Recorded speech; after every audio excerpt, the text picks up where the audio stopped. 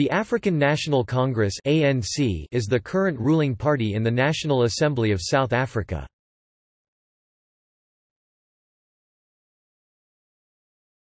Topic: Origins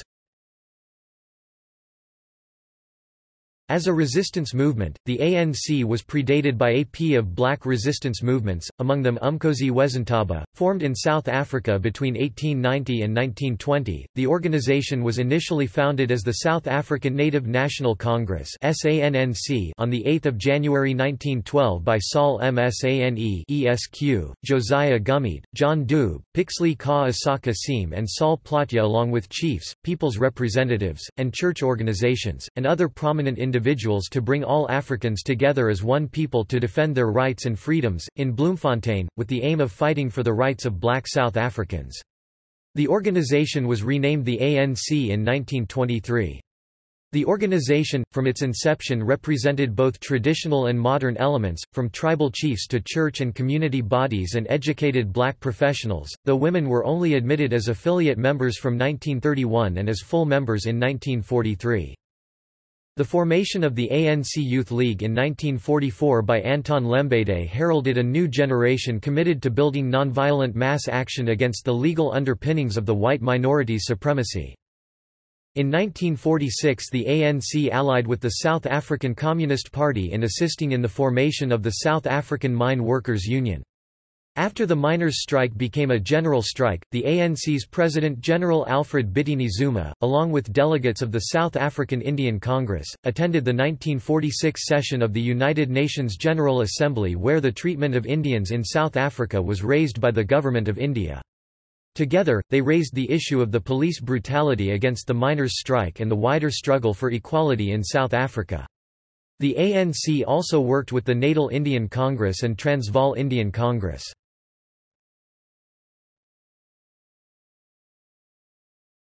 Topic: Opposition to apartheid.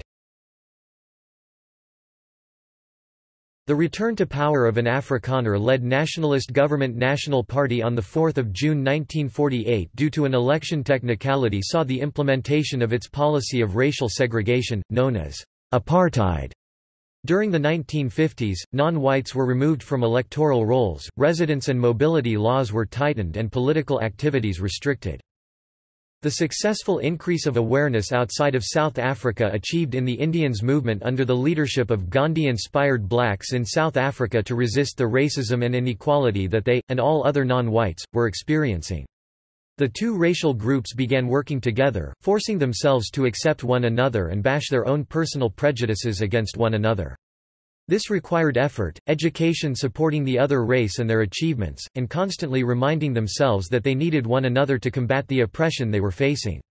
They began collaborating, even jointly campaigning for their struggle to be managed by the United Nations although in this time, Western society was not practicing equality for all people either. The ANC also found its role model in the initial movement by the Indian political parties. They realized that they would need a fervent leader, like Gandhi was for the Indians, who was, in the words of Nelson Mandela, "...willing to violate the law and if necessary go to prison for their beliefs as Gandhi had." In 1949 the ANC saw a jump in their membership, which previously lingered around 5,000, and began to establish a firm presence in South African National Society. In June 1952, the ANC joined with other anti-apartheid organizations in a defiance campaign against the restriction of political, labor and residential rights, during which protesters deliberately violated oppressive laws, following the example of Mahatma Gandhi's passive resistance in KwaZulu-Natal and in India. The campaign was called off in April 1953 after new laws prohibiting protest meetings were passed. In June 1955 the Congress of the People, organized by the ANC and Indian, colored and white organizations at Kliptown near Johannesburg, adopted the Freedom Charter, henceforth the fundamental document of the anti-apartheid struggle with its demand for equal rights for all regardless of race. As opposition to the regime's policies continued, 156 leading members of the ANC and allied organizations were arrested in 1956. The resulting treason trial ended with their acquittal five years later. The ANC first called for an academic boycott of South Africa in protest of its apartheid policies in 1958 in Ghana. The call was repeated the following year in London. In 1959, a number of members broke away from the ANC because they objected to the ANC's reorientation from African nationalist policies. They formed the rival Pan-Africanist Congress (PAC), led by Robert Sobukwe.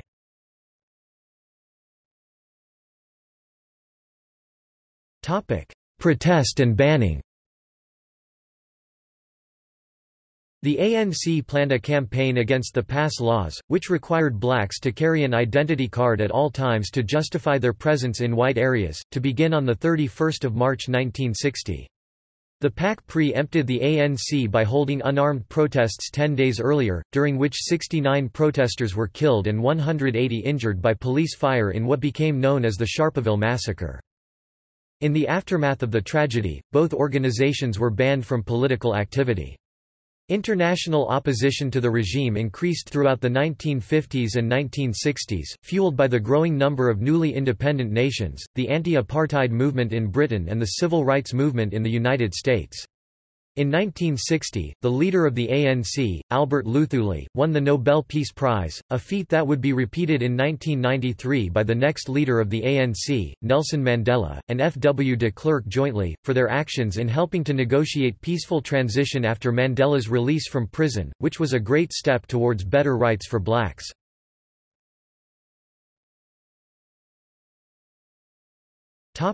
Violent political resistance Following the Sharpeville massacre in 1960, the ANC leadership concluded that the methods of non-violence such as those utilized by Gandhi against the British Empire during their colonization of India were not suitable against the apartheid system. A military wing was formed in 1961, called Umkhonto we Sizwe MK, meaning, "'Spear of the Nation", with Mandela as its first leader. MK operations during the 1960s primarily involved targeting and sabotaging government facilities. Mandela was arrested in 1962, convicted of sabotage in 1964 and sentenced to life imprisonment on Robben Island, along with Sisulu and other ANC leaders after the Rivonia trial. During the 1970s and 1980s the ANC leadership in exile under Oliver Tambo made the decision to target apartheid government leadership, command and control, secret police, and military-industrial complex assets and personnel in decapitation strikes, targeted killings, and guerrilla actions such as bomb explosions in facilities frequented by military and government personnel. A number of civilians were also killed in these attacks. Examples of these include the Amanzimtoti bombing, the Sterland bomb in Pretoria, the Wimpy bomb in Pretoria, the Juicy Lucy bomb in Pretoria and the Magoo's Bar bombing in Durban. ANC acts of sabotage aimed at government institutions included the bombing of the Johannesburg Magistrates Court, the attack on the Koeberg nuclear power station, the rocket attack on Voortrekkerhoogte in Pretoria, and the 1983 Church Street bombing in Pretoria, which killed 16 and wounded 130. The ANC was classified as a terrorist organization by the South African government and by some Western countries including the United States of America and the United Kingdom. Nevertheless, the ANC had a London office from 1978 to 1994 at 28 Penton Street in Islington, North London, now marked with a plaque. During this period, the South African military engaged in a number of raids and bombings on ANC bases in Botswana, Mozambique, Lesotho, and Swaziland. Dulcie September, a member of the ANC who was investigating the arms trade between France and South Africa was assassinated in Paris in 1988. In the ANC's training camps, the ANC faced allegations that dissident members faced torture, detention without trial and even execution in ANC prison camps. In South Africa, the campaign to make the townships ungovernable led to kangaroo courts and mob executions of opponents and collaborators, often by necklacing. There was violence between the ANC and the Inkatha Freedom Party. For example, between 1985 and 1989, 5,000 civilians were killed in fighting between the two parties. Massacres of each other's supporters include the Shell House Massacre and the Boipatong Massacre. As the years progressed, the African National Congress's attacks, coupled with international pressure and internal dissent, increased in South Africa. The ANC received financial and tactical support from the USSR, which orchestrated military involvement with surrogate Cuban forces through Angola. However, the fall of the USSR after 1991 brought an end to its funding of the ANC and also changed the attitude of some Western governments that had previously supported the apartheid regime as an ally against communism. The South African government found itself under increasing internal and external pressure, and this, together with a more conciliatory tone from the ANC, resulted in a change in the political landscape. State President F. W. de Klerk unbanned the ANC and other banned organizations on 2 February 1990, and began peace talks for a negotiated settlement to end apartheid.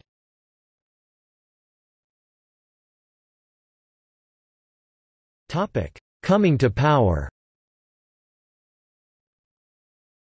With the end of apartheid, it was a foregone conclusion that the ANC would not only win the April 1994 general election—the country's first multiracial elections—but do so in a landslide.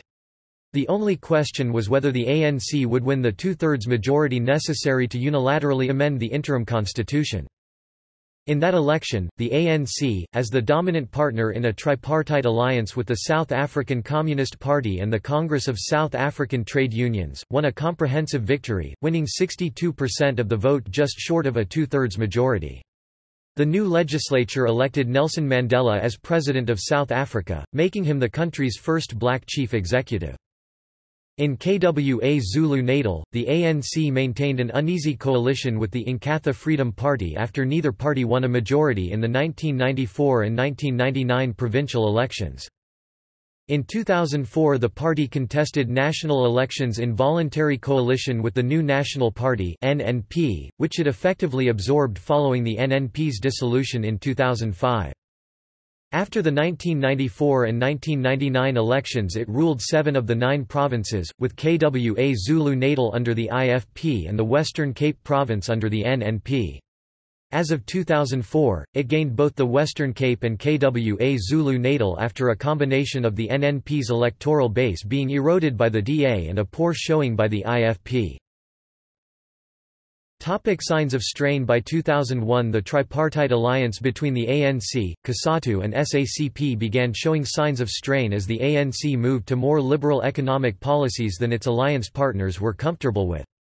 The focus for dissent was the GEAR program, an initialism for growth, employment and redistribution. In late 2004 this was again thrown into sharp relief by Zwelinzima Vavi of COSATU protesting the ANC's policy of quiet diplomacy towards the worsening conditions in Zimbabwe, as well as black economic empowerment, which he complained benefits a favored few in the black elite and not the masses.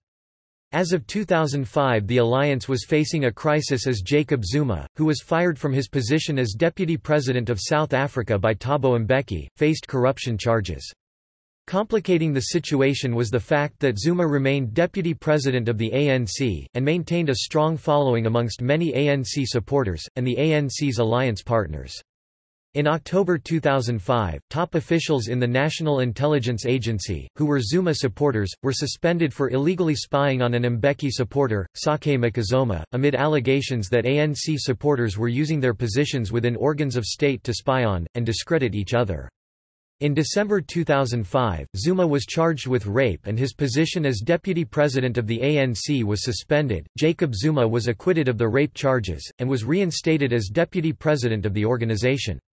A battle for leadership of the ANC followed, culminating at the party's national conference in Polokwane 16–20 December 2007, where both Jacob Zuma and Thabo Mbeki were nominated for the position of president. On 18 December 2007, Jacob Zuma was elected president of the ANC at the ANC conference in Polokwane. Jacob Zuma was replaced as ANC president by Cyril Ramaphosa at the 2017 ANC National Conference.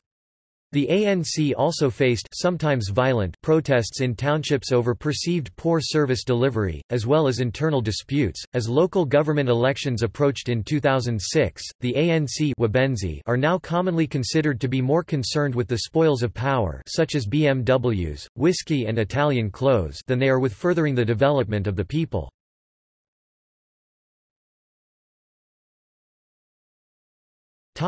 Leaders of the ANC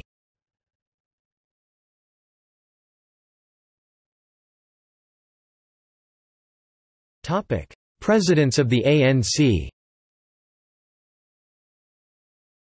1912 to 1917 John Langalibalele Dube 1871 to 1946 1917 to 1924 Sefako Mapogo Makgatho 1861 to 1951 1924 to 1927 Zacharias Richard Mahabane 1881 to 1971 1927 to 1930 Josiah Tshangana Gumede 1870 to 1947 1930 to 1936 Pixley Ka Isaka Seme 1882 to 1951 1937 to 1940 Zacharias Richard Mahabane 1881 to 1971 1940 to 1949 Alfred Bitini Xuma 1890 to 1962 1949 to 1952 James Sebe Moroka 1891 to 1985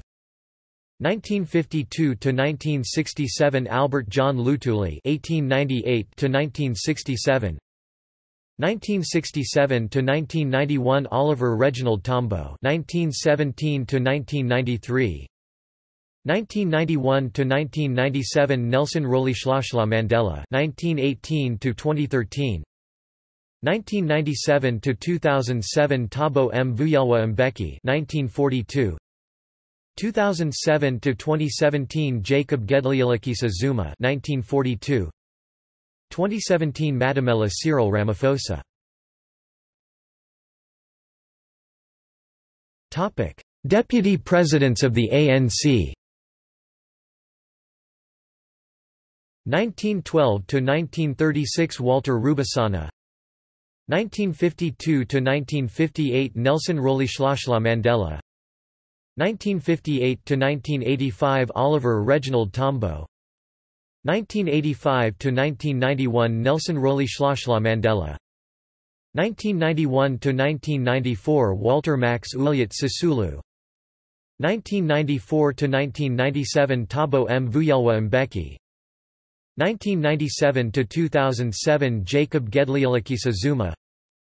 2007 to 2012 Kgalema Petrus Motlanthe. 2012 to 2017 Matamela Cyril Ramaphosa. 2017 David Mabuza. Topic Secretaries General of the ANC 1912 to 1915 Solomon Tshekisho Saul Plaatje 1915 to 1917 Saul Msane.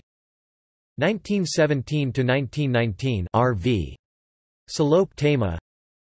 1919 to 1923 HL Bud Bell.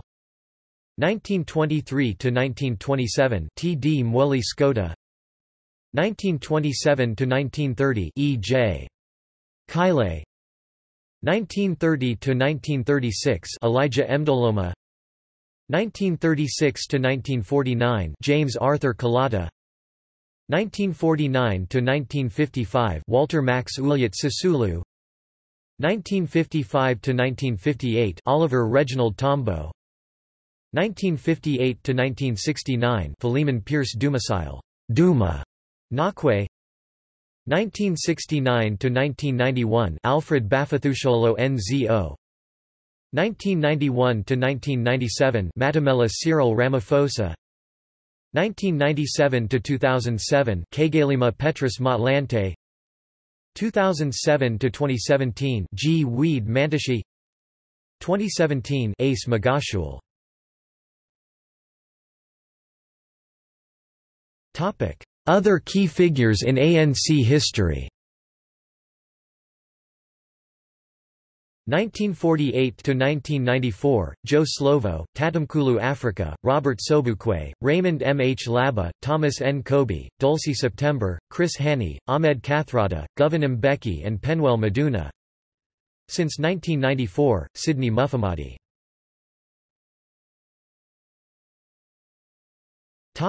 See also Africa hinterland arms smuggling operation Anti-apartheid movement Radio Freedom Shell House Massacre Henri Curiel